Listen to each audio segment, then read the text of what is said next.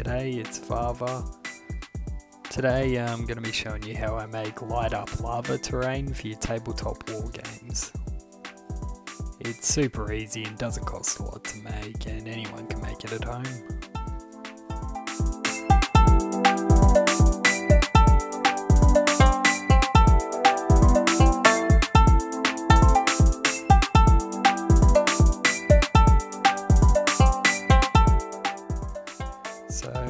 Cracking.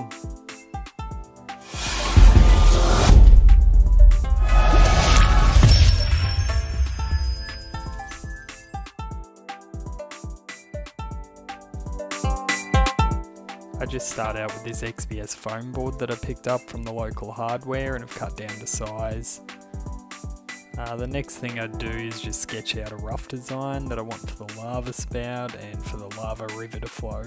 Uh, now this step doesn't have to be too accurate, it's just good to get a nice rough design going, uh, just so you can see where you're going to place everything.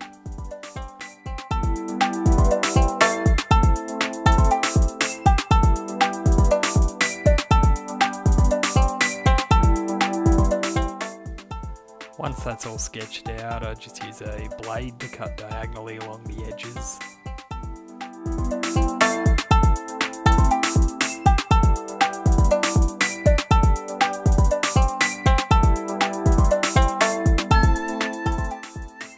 Find it's best to just work in small areas to remove the foam.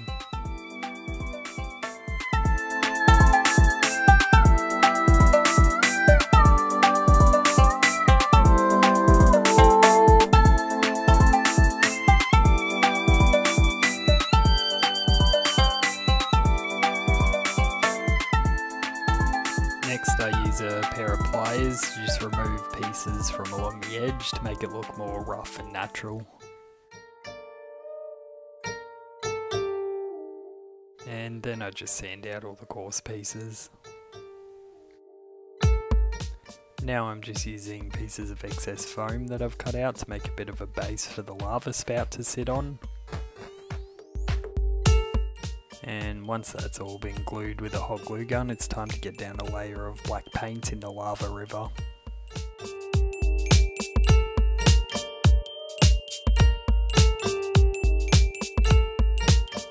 When the paint dries, I just put down a layer of watered down Mod Podge to seal in the lava later.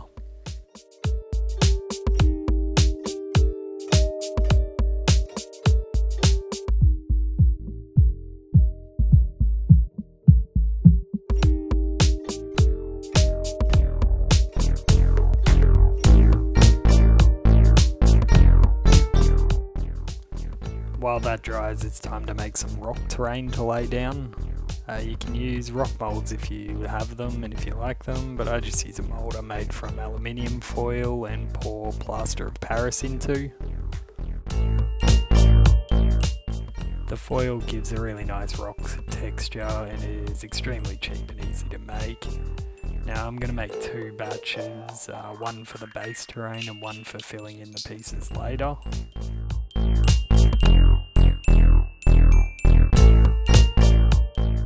Once the plaster's set, it's time to carefully peel away the mould, uh, but you don't have to be too careful and it's fine if it breaks because I'll be breaking pieces off it anyway.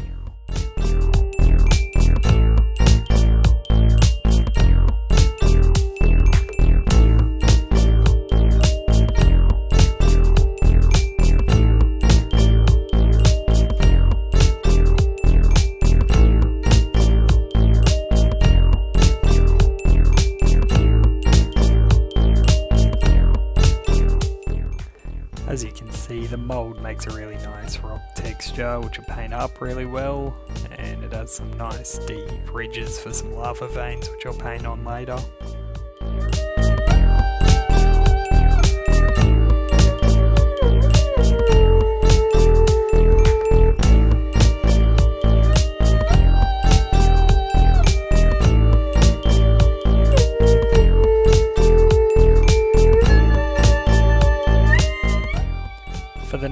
I want to make some deeper ridges so it's as easy as pinching the foil into nice deep ridges like this And I want this one to be the main piece, so I'm pouring the plaster of Paris on a bit thicker to make it nice and sturdy.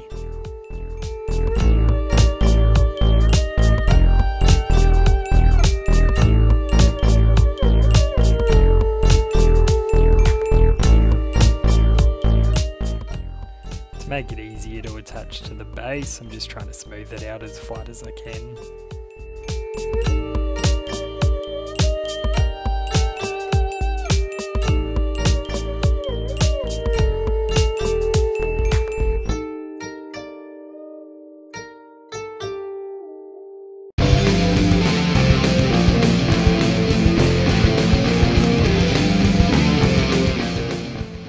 While that dries, I'm going to lava spout out of a toilet paper roll, so I just line it up to next to the foam that I glued earlier and just trace one side of it.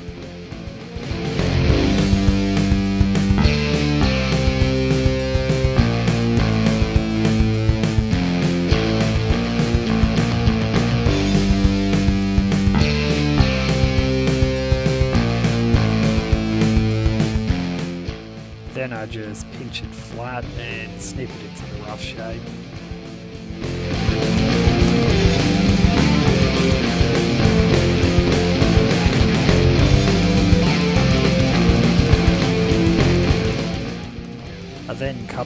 Top flat and roughly trace out and cut out a spout where the lava will be spilling out from.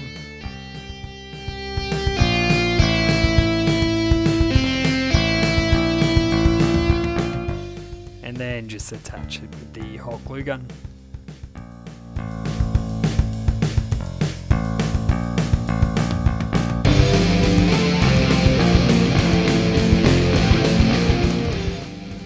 Once the second batch of plaster sets, it's the same deal. Don't have to be too delicate, uh, but just try to keep at least one bigger piece like this.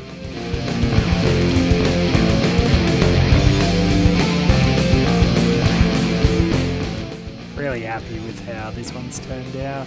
Has some nice deep ridges which I can paint some nice lava veins onto later.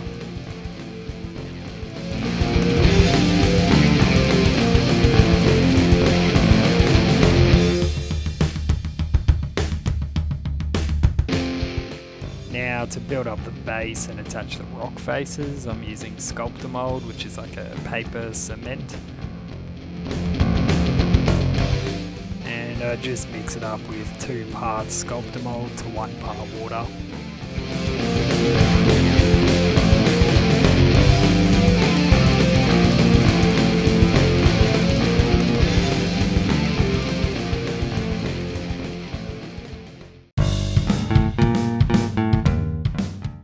That's all mixed up, I want to build up the lava spout first, so I just kind of slap it all around the spout, and you don't have to be too neat with this part because I'll be attaching some rock faces to make it look like it's been kind of pushed up out from the ground.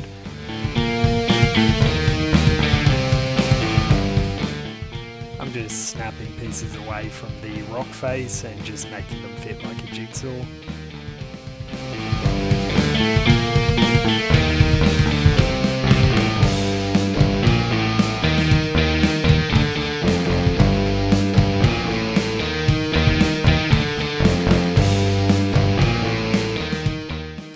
Make the base, you just want to snap some pieces away from it to make it fit.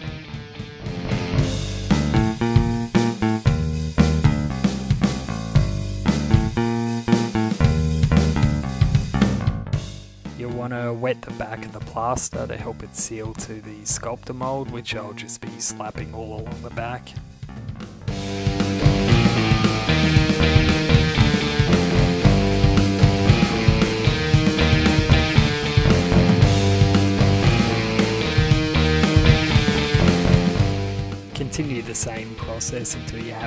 buyout.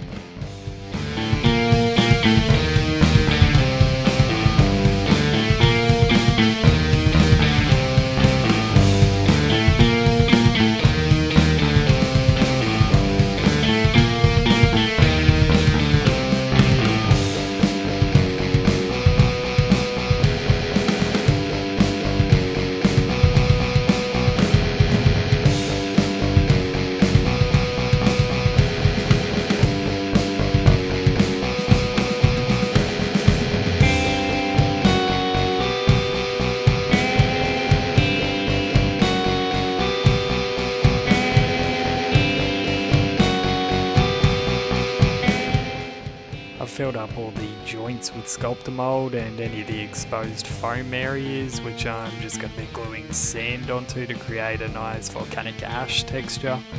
And at this point the board is going to be really heavy because of all the water so just be careful when moving it until it dries out.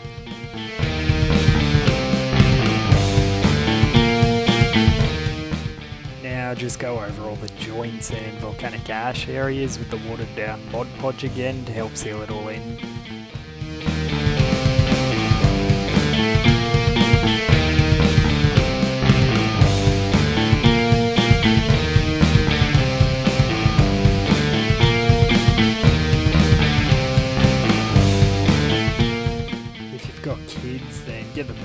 You things because all kids love arts and crafts and love helping out.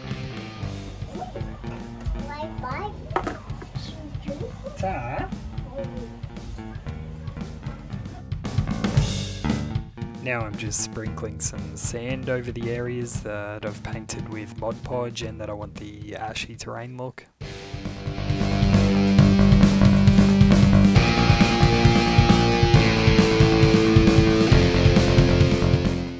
Once that dries, it's time to go over the whole terrain with a coat of watered down black paint.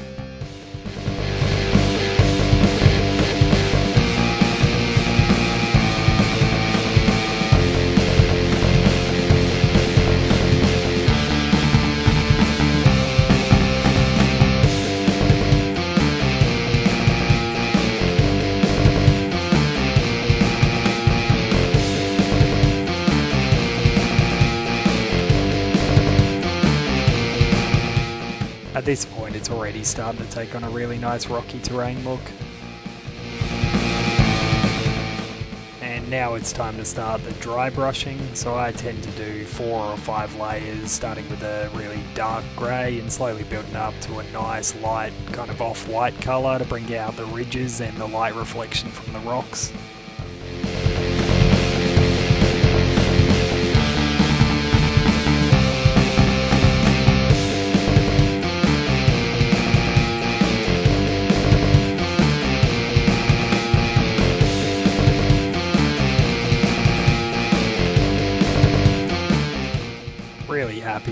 That the rocks are looking so far.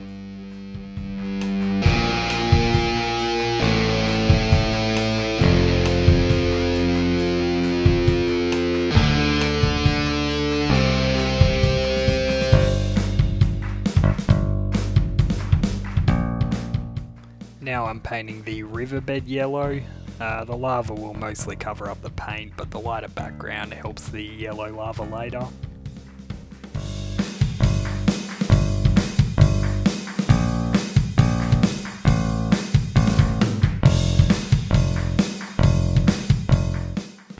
I had to lay down two layers of yellow paint before moving on to orange. The orange looks really nice around the outside and the raised edges. This point is when I started painting in the lava veins, just using the same technique, starting with yellow and blending in the orange and red on the outside and the raised edges.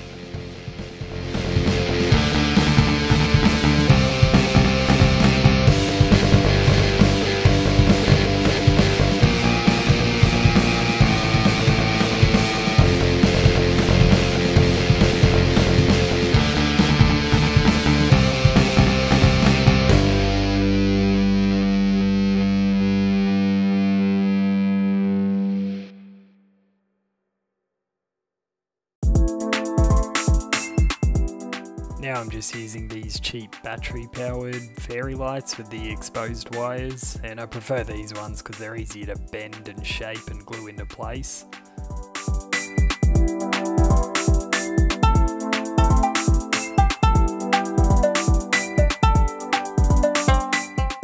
There's no real process here, I just glue them down wherever it's deeper and wherever you think would look nice.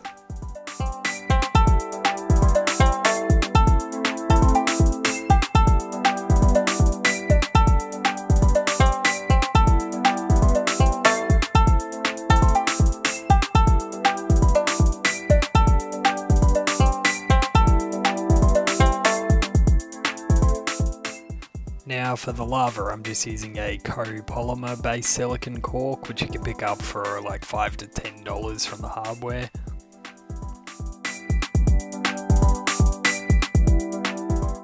Just squeeze it out into a bucket and you'll want to use a isopropyl alcohol to help thin it down and make it easier to work with. And trust me, a very small amount of ink or acrylic paint goes a long way with this and I only use two drops of paint for the whole tube.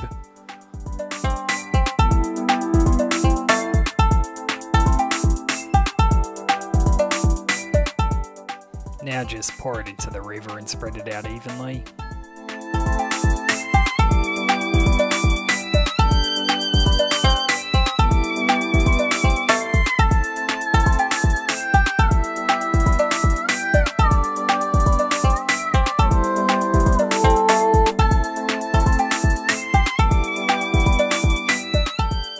It sets, you can start the painting. Just use the same process as earlier. Use the orange around the edges and raised areas, and then red just use right on the edges. And just make sure to water down your paints to blend them in.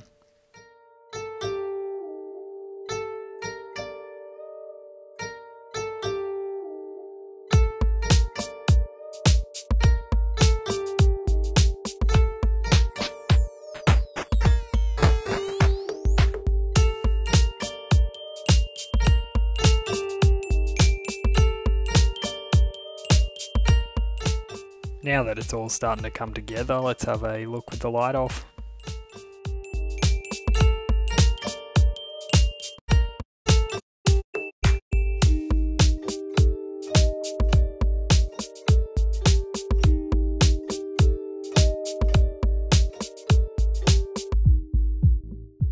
I've cut out a nice tight spot for the battery pack and a little trench to hide the wires in.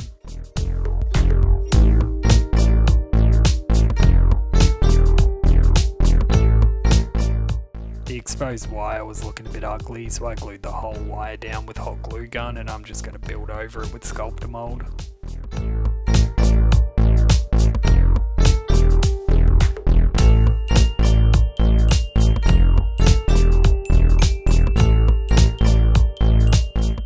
After I slap it down and mold it around the wire, I just scrunch up some foil and press it firmly to create another rock texture.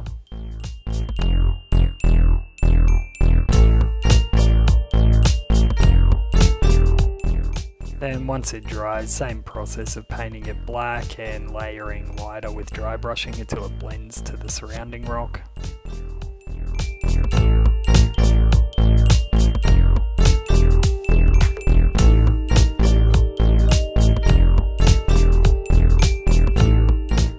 Then finally just paint the remaining uh, exposed hot glue to blend with the lava.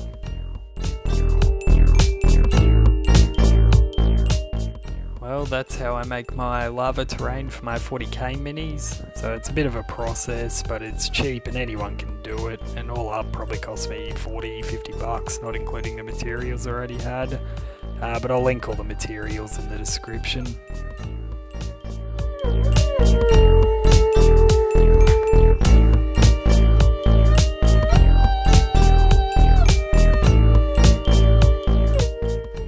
Hope you enjoyed the video and I hope you learned something. And if you did enjoy it, uh, give me some suggestions for my next video and I'll try my best.